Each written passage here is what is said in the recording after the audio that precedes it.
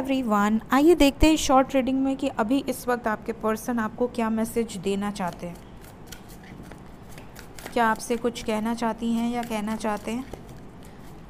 और अगर कहना चाहते हैं तो क्या कहना चाहते हैं? Will take randomly three cards क्योंकि शॉर्ट रीडिंग है। फ़र्स्ट एक और कार्ड आना चाह रहा है। सेकंड चलिए हम चार कार्ड ले लेते हैं, इसको इवन नंबर में कर देते हैं। Third fourth. ओके।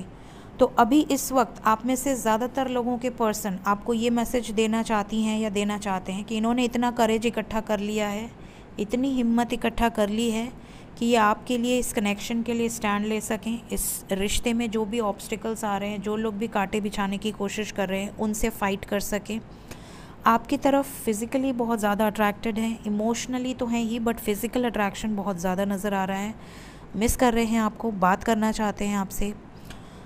और शादी को लेकर बहुत सीरियस हैं। आपके पर्सन ट्रेडिशनली आपको एक्सेप्ट करना चाहते हैं। पूरी रीति रिवाज के साथ, पूरी दुनिया के सामने अपने लाइफ पार्टनर को एक्सेप्ट करना चाहते हैं। और आपको अपनी लाइफ में एक बहुत इंपॉर्टेंट प्लेस ये देती हैं या देते हैं।